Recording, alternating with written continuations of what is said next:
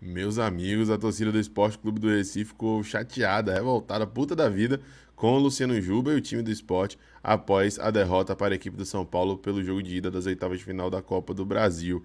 O que isso tem a ver com a gente? Não muita coisa, para além da brincadeira, da resenha, da provocação, mas com relação à Juba, pode, de certa forma, caracterizar um desgaste mais acentuado, um desgaste maior ainda e uma consequente vinda né, anterior do atleta para o Bahia, anterior a o fechamento da janela. Pode ser que seja na abertura. Iremos falar sobre isso, sobre como o Juba pode se encaixar nessa equipe, como pode contribuir para poder melhorar o nível do time de Renato Paiva e também trazer à tona outras informações, como entrevista de resenha após o jogo e etc. Vamos que vamos para mais um conteúdo aqui no canal.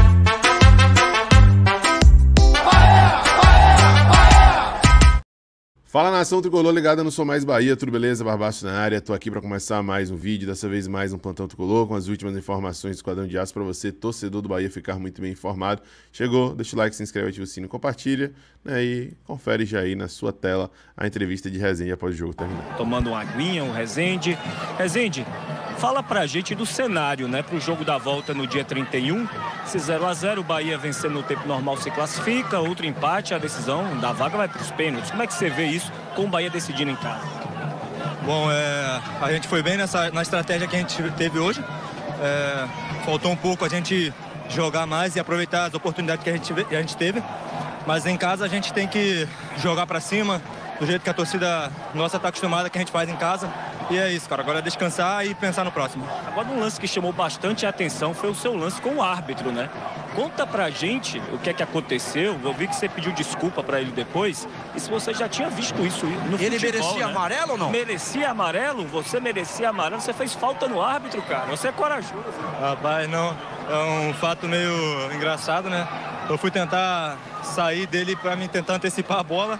Só que ele entrou na minha frente, eu ainda tentei evitar, mas não teve jeito. Mas eu pedi ele desculpa ele ali. Segue a vida. tá aí, rapaziada, a resenha aí do Resende com relação ao choque com o árbitro. Salve Pereira Sampaio, né? Tá na conta, tá na conta. Foi uma resposta aí para os últimos erros aí contra o Bahia. Inclusive, a gente soltou vídeo sobre isso no nosso outro canal, na CMB Lives também né? Porque não só contra o Bahia, a arbitragem brasileira tem sido trágica, né? Para o futebol de maneira geral, para o Nordeste num grau um pouco mais acentuado, para o Bahia, Bahia num grau mais acentuado ainda, e por isso a gente fica irritado, a gente fica chateado, tá? Mas enfim, vamos que vamos seguir nessa empreitada. Vamos falar um pouco sobre a equipe que deve ir a campo nesse próximo jogo contra a equipe do Goiás. Já pensar na próxima página, já pensar no sábado, já pensar na Fonte Nova, nesse confronto, nesse embate importante pelo Campeonato Brasileiro da Série A. O Bahia tem alguns desfalques para esse jogo. Um deles, inclusive, é o próprio Rezende. Rezende levou o segundo amarelo, foi expulso contra o Flamengo.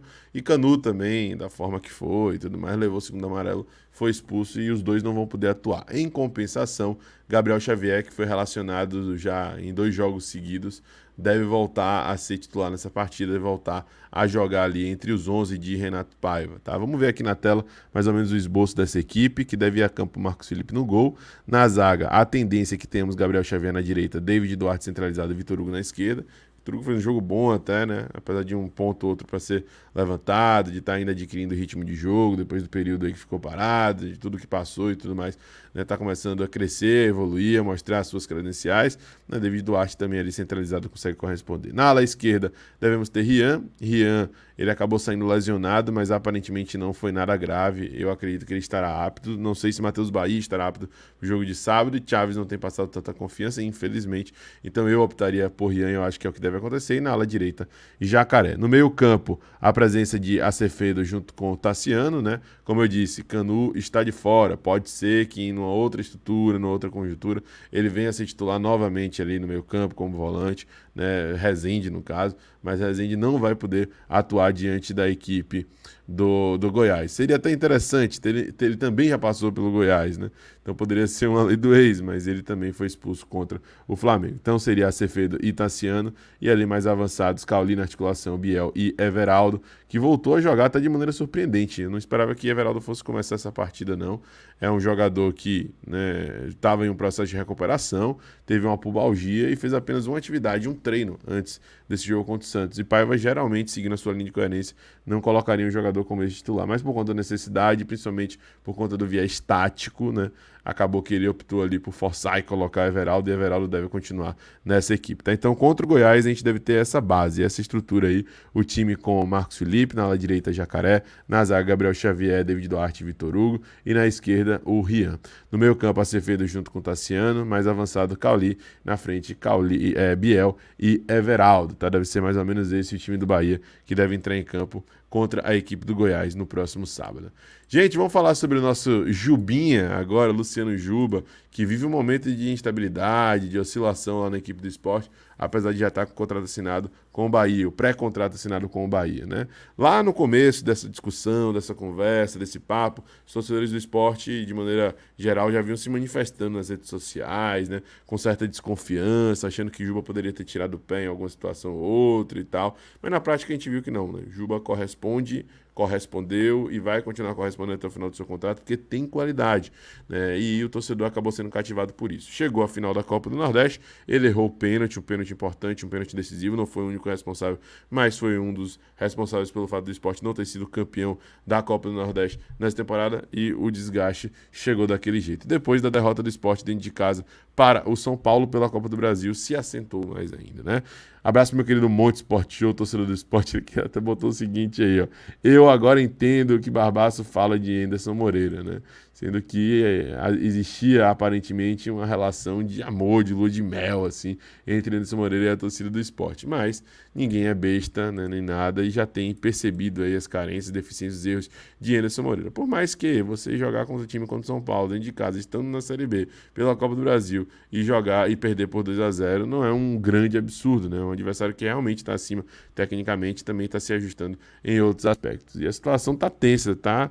Tá complicada por lá. Olha o destaque aí, torcedores brigando com jogadores esporte. Teve vários copos de cerveja arremassados. Vamos ver aqui.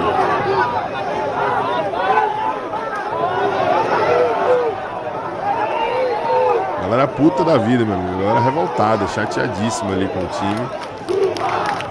Aí um outro aplaudiu o Juba, né? um outro aplaudiu o Juba e vocês vão entender por que esse aplauso. Né? Foi um aplauso mais para cobrir do que por reconhecimento. O Renato Barros ele até destaca, nada justifica isso, nada. E para piorar, é um claro sinal de desconexão da realidade. O esporte faz frente a muito time da Série A. Aí perde em casa, apesar de não jogar mal, e ver o indivíduo, indivíduo fazer isso é loucura demais. Olha aí o que rolou. Né? O cara jogou ali, ó jogou um copo, a água foi em direção ao atleta, água, cerveja, sei lá o quê. É, enfim, bizarro, né? Assim, antes de qualquer coisa, como amante de futebol, como apaixonado de futebol, isso daí é algo totalmente recriminável, bizarro, independente da circunstância, da situação, de quem seja, de como a coisa aconteça, né? Bizarro, ridículo. Mas, novamente, acentua o que a gente já vinha comentando a crise no esporte, problema, né, desgaste com o torcedor. E o Central da Ilha, uma página do esporte relevante no Twitter, falou: ó, calma lá, galera, o jogo estava equilibrado até a expulsão. São Paulo é um time de pelo menos meio de tabela da Série A. O esporte fez uma partida honesta, foco na Série B. Algumas pessoas estão tendo uma reação desproporcional. E aí o Lacundo Fá, é, Bandeira, ele diz aqui, ó. Por isso não crescemos. Torcida é muito emocional e pouquíssimo racional. Perdeu, a, acha que todo mundo é ruim. Vaiaram até Juba. Vaiaram até Juba. Que nojo de quem vaiou. E o próprio Central da Ilha acabou destacando isso posteriormente em um tweet seu, falando Luciano Juba já é, foi vaiado por uma parte do estádio ao ser substituído. Luciano Juba foi vaiado por uma parte do estádio ao ser substituído. Você vaiou e a maioria da torcida do esporte aqui né, reconhecendo, mas outros também fazendo as suas cobranças, né, que o jogador tem que despertar e tudo mais. Mesma coisa de Zé Rafael aqui no Bahia antes de sair Palmeiras, né? Fato dele ter algum tipo de acordo com outro time já faz a galera deduzir que ele tá com a cabeça lá e tal, e não vai focar em vestir a camisa do time atual, né?